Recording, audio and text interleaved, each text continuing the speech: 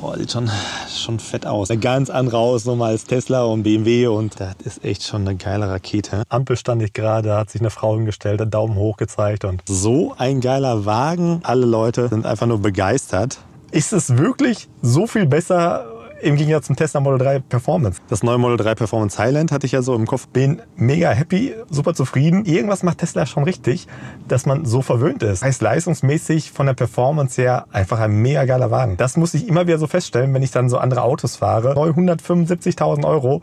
Das ist so krank, die ganzen Preise im Moment. Bitte mal eure Meinung wissen. Was haltet ihr von dem Wagen? Hi Leute, herzlich willkommen auf meinem Zweitkanal EV Live und äh, schaut mal, was ich da hinter mir habe. Der Audi e-tron GT in der RS-Version. Version. Knapp 600 PS hat der. Sehr geiler Wagen. Ich bin jetzt eine kurze Runde mitgefahren. Äh, leider ist heute Freitagnachmittags Ruhrgebiet. Ihr wisst genau, was das heißt. Das ist einfach nur total voll. Und ich gucke jetzt mal, wo ich hier noch mal ein bisschen drehen kann. Ich zeige euch den Wagen jetzt erstmal. Da könnt ihr ihn sehen. Das ist einfach eine Granate, der Wagen. Das ist der Hammer. Also das war schon immer mein Traumwagen. Ich zeige euch noch mal die Lichter.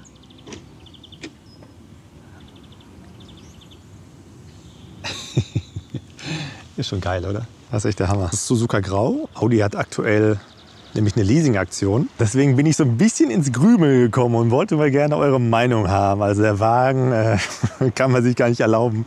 Der ist noch kein Jahr alt. Preislich liegt er, ich glaube, bei 120. Es ist einfach eine ganz andere Hausnummer als Tesla und BMW und okay, der BMW i5 im 60er liegt auch bei 120.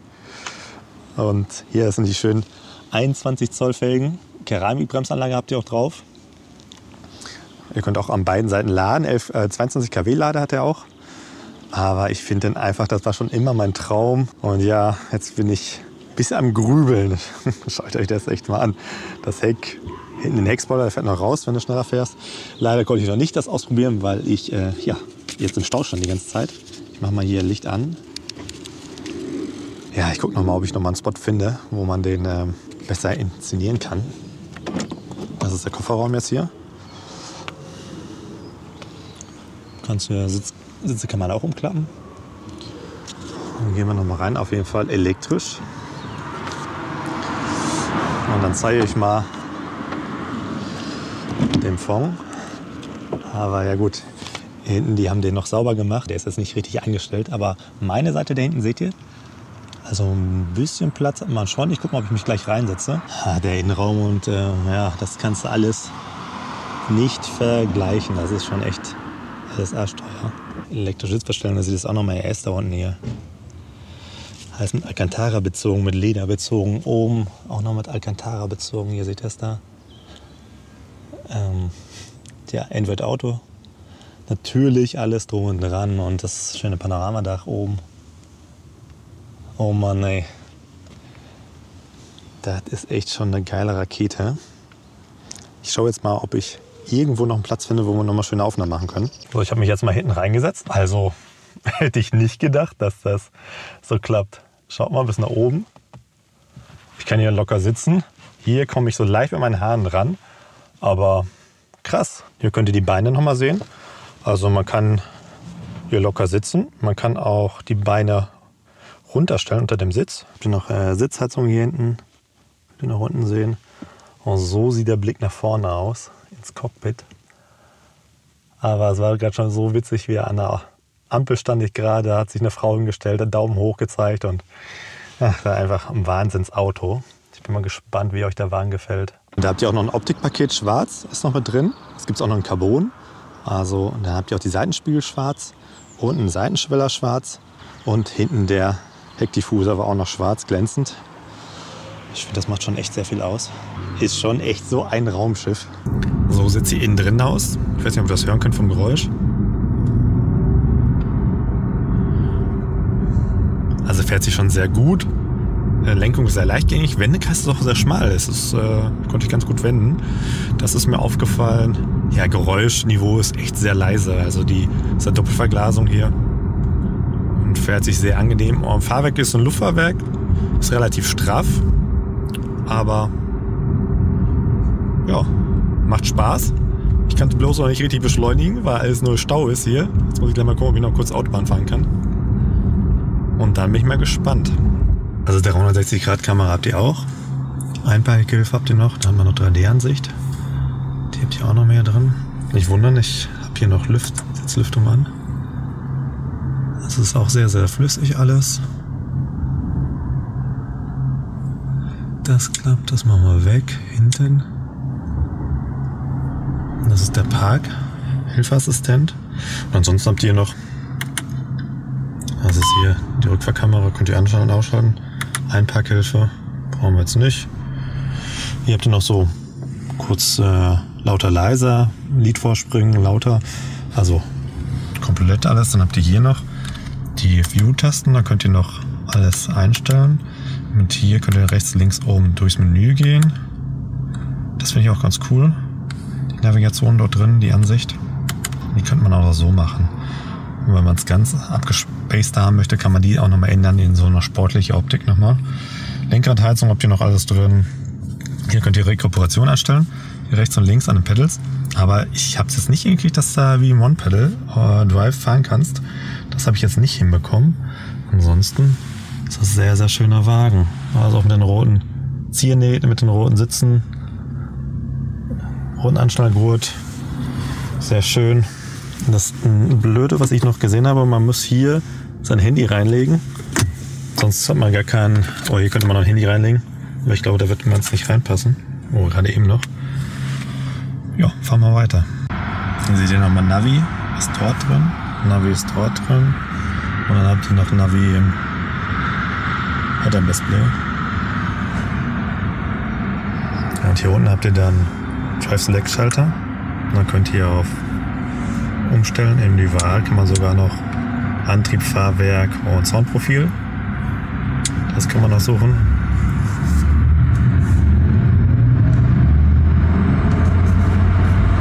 So, jetzt habe ich doch endlich noch mal einen neuen Spot gefunden, wir ein bisschen weiter rumgehen können. Ich bin echt mal so am Überlegen die ganze Zeit. Das ist so ein geiler Wagen von der Optik, vom Fahren. Ja, Entertainment, hm, das äh, würde ich jetzt sagen, ist so die Menü Führung und die Bedienung finde ich jetzt beim Tesla oder beim BMW ein bisschen besser.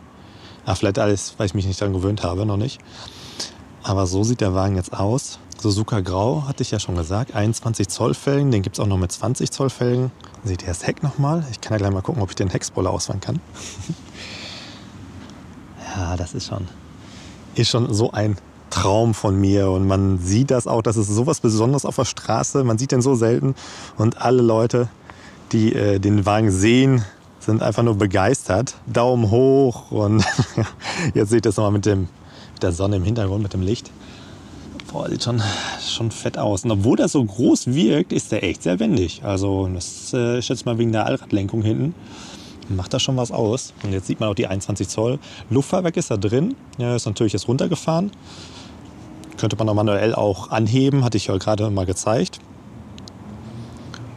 Aber ich find, bin einfach begeistert, aber oh Mann, das ist echt nicht so leicht. Jetzt gucke ich mal. Den Front kann ich vorne auch mit der Fernbedienung. Habe ich hier. Ne, das natürlich kann man jetzt leider nicht benutzen. Das Matrixlicht, das ist ja so Audi-typisch was Besonderes. Das nennt sich Lichtinszenierung.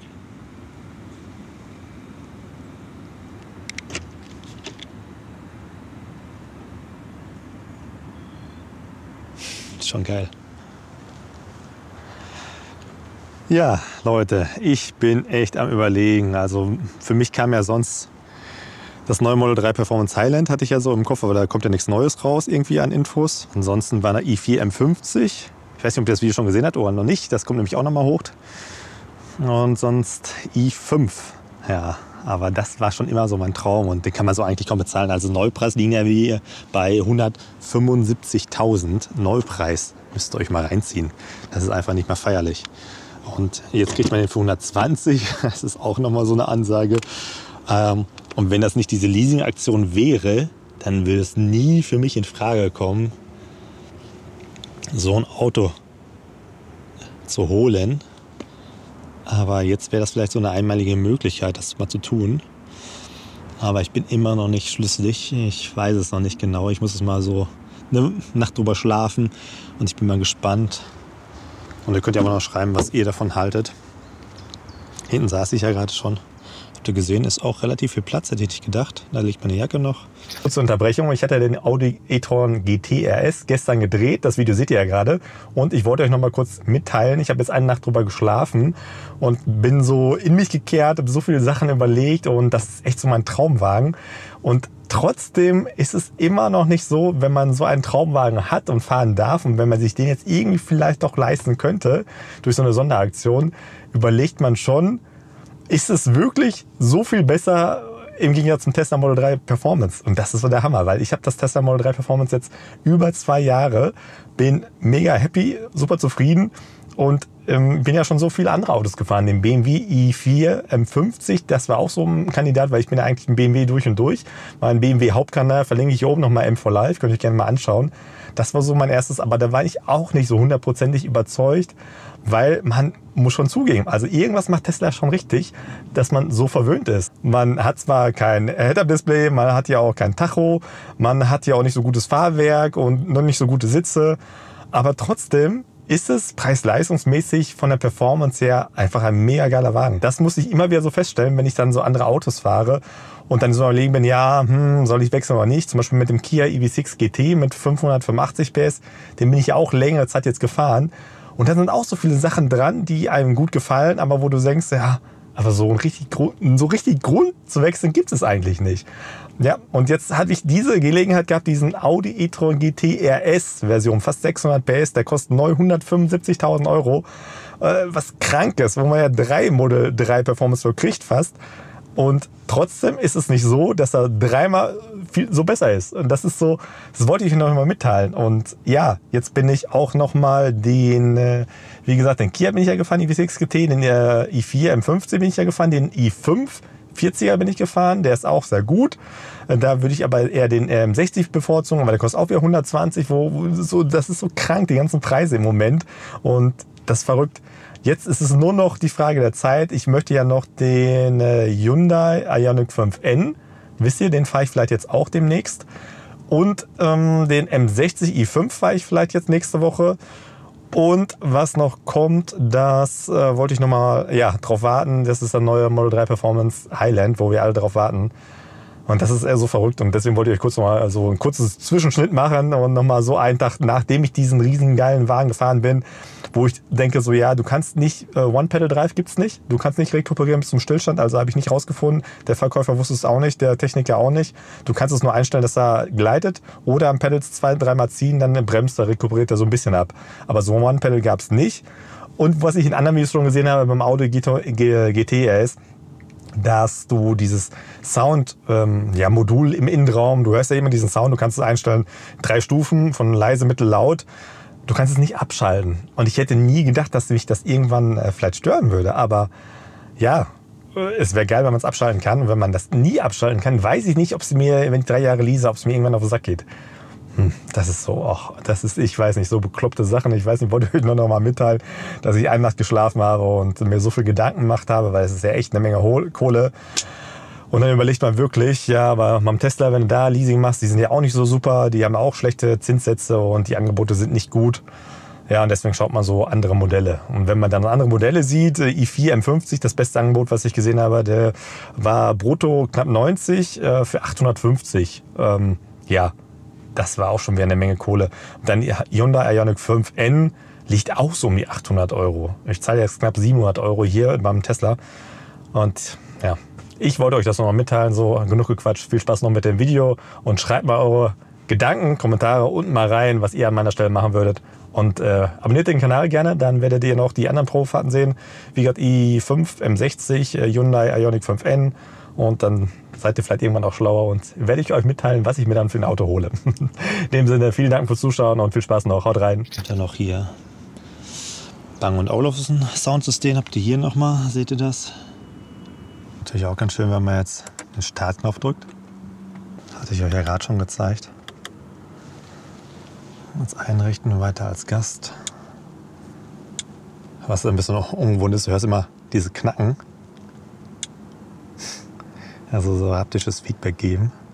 Da sind noch die ganzen Sachen hier drin. Radio hatte ich ja. Hier habt ihr natürlich DAB-Radio, ich mache mal leiser. Kann man auch Entertainment nochmal einstellen. Kann man da nochmal. Bestes Subwoofer, Autofokus vorne alle. Surround hoch. Das könnte man auch noch machen. Dann gehen wir jetzt zurück. Bitte noch Medien ganz normal. Das kein Eingericht, Telefon, Navigation, Android Auto, Fahrzeug ist vielleicht nochmal ganz interessant. Das kann man dann noch einstellen, laden. Tägliche Nutzung, Langstrecke und so, Ladeziel, das kann man hier nochmal eingeben. Ähm, das ist CT 290 Kilometer.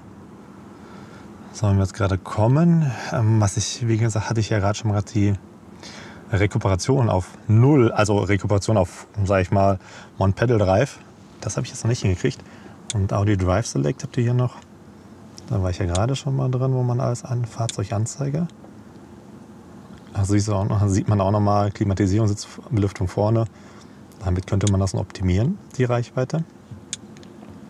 Effizienz, Rekuperation manuell, automatisch. Ich mache mal automatisch. Äh, Sitze.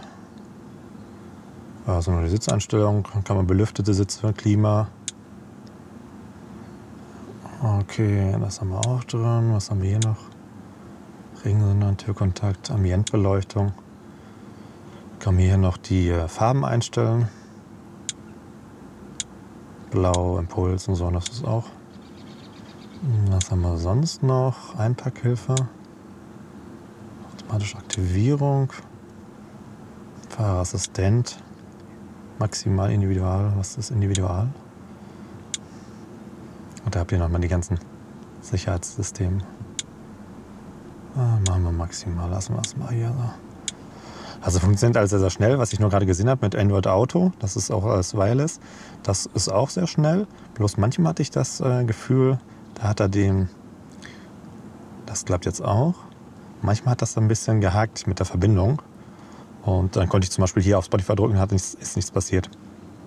Ja, ja würde ich sagen, bringe ich den Wagen mal wieder zurück. So, ist ein bisschen ärgerlich, dass ich den äh, heute nur knapp zwei Stunden hatte. Ähm, ja, heute ist Freitagnachmittag. Konntest du vergessen, Autobahn und so. Alles zu voll und äh, die 600 Base konnte ich gar nicht richtig ausprobieren. Weil für mich ist es ja immer wichtig, wie weit oben rum, ja, wie der sich schlägt gegenüber Tesla und äh, der BMW. Oh, jetzt bin ich richtig gefahren. Ja, ich halte auf dem Laufenden. Ich äh, möchte mal eure Meinung wissen. Was haltet ihr von dem Wagen? Sagt ihr, ey Sascha, wenn es klappt, wenn die Leasingrate wirklich jetzt so ein super Angebot ist, dann mach es. Oder sagt ihr, nee, ich würde das nicht machen, weil, ja, es ist, äh, weil irgendwie finde ich gerade keinen Grund, warum man das jetzt nicht machen sollte. Hm, vielleicht muss man sich noch dran gewöhnen. Ich halte euch auf dem Laufenden, aber schreibt das mal gerne drunter, eure Meinung zu dem Wagen. Und bin echt mal gespannt, was ihr sagt. Ja, ich halte euch auf dem Laufenden. Vielen Dank fürs Zuschauen. War jetzt ein kurzes, anderes, knappes Video. Ich konnte jetzt nicht viel drehen eben halt und war jetzt viel los. Aber ich wollte euch wenigstens mitteilen, dass ich hier noch weiter fleißig am Suchen bin. Das soll es gewesen sein, Leute. Haut rein. Ciao, ciao.